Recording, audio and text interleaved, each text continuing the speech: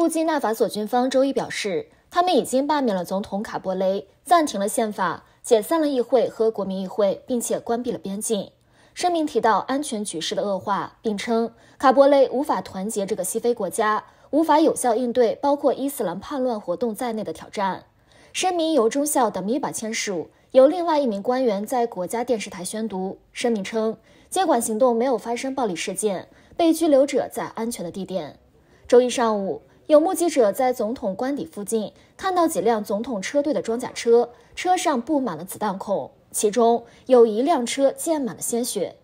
在过去的十八个月里，马里和几内亚的政变成功以后，西非和中非各国政府对政变保持高度警惕。去年，与基地组织和伊斯兰国有关的伊斯兰武装分子在布基纳法索实施的暴力事件不断增加，导致两千多人死亡。去年十一月，该国也发生了大规模的街头暴力抗议，要求总统卡博雷下台。